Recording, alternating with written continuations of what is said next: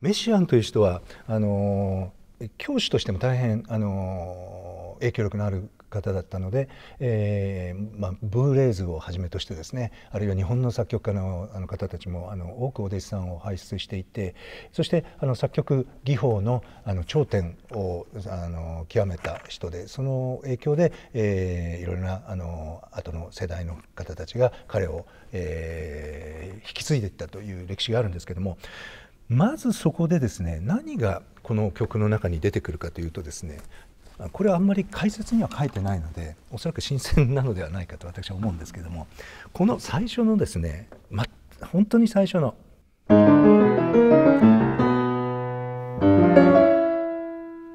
こういう曲が始まるんですけどもこれは何かと言いますとですねこれはですね非常に単純な12音なんです。で12音というのはショーンベルクが始めた1913年に無調になってからあの、えーえー、12音になるんですけどもそういう時代のですねものすごく単純な12音なんです。ところがですねこのメッセージは何かというとこの12ですね一回もあの繰り返される音がないということで12音の音がだん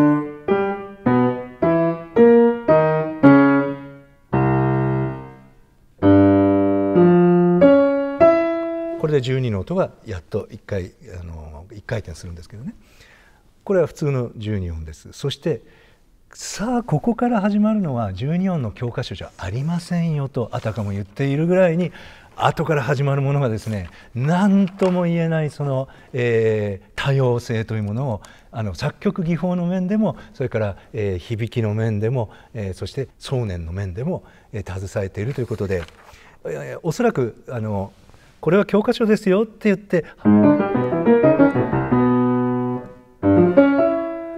始まったんじゃないかと思うんですね。で最初に出てくるあのこれはあの私たちがあの何回もこの曲の中で繰り返し繰り返しあの聞くことのできるあの、えー、モチーフということなので、えー、最初に紹介しておきたいと思うんですけどもまずはあの先ほども申しました通りにメキシコのですね古代の、えー、彫刻非常におどろおどろしいですね猛獣のうなりのようなですね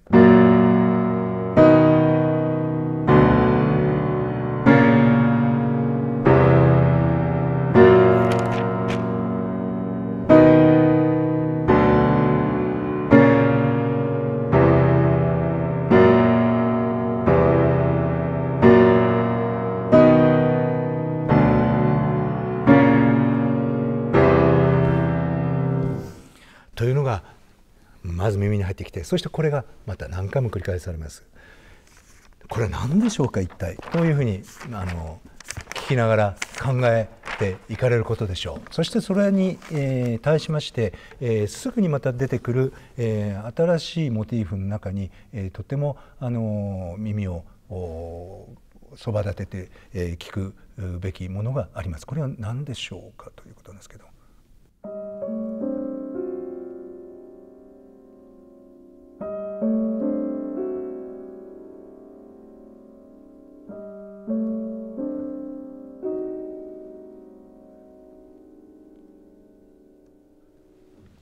これも何回も出てきます。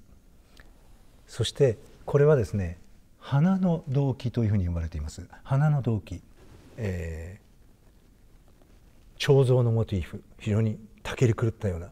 これはおそらくあの、えー、まあおしべ。惜しいもの。ですね。男性的なるもの。と言っていいと思います。それからこの花のモチーフというのはここで非常に絶えなる不協和音がなるわけなんですけども。このなんか不思議な和音で表されているのはめしべですね。めしべですね。でこれは、えー、おそらく女性的なるものですね。そしてこれがここでは、えー、すでに聞かれることによってですね、えー、後半のあの、えー、セーヌ・ダムーと言われる愛の場面愛の場面というのがあの繰り返し繰り返し出てくるんですけれどもその中でこの対比というものがより明らかになってくるというのがあの愛ということに対しての、ああのえー、構造の原理ですね。さてそれを結んでいくのは何かというとですね、えー、それは、えー、紛れもない、えー、メシアの採集してきた鳥たちなんですね。で鳥のあの一部をちょっと演奏しますが。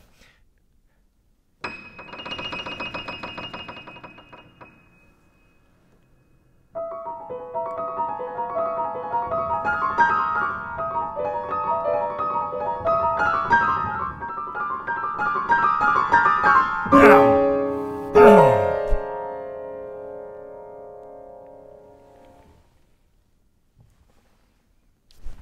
れはある一種の鳥ですよねある一つの鳥。ということはこの曲の中ではこのスコアのこの分だけさまざまな歌が聞こえるということですね。ですからそういう意味でも彼の、えー、その鳥の採集という意味においても鳥の音を鳴き声を不明に表したという点においてもこれが、えー、鳥の声の融合といいますかですねというにふさわしいのではないかというふうに思います。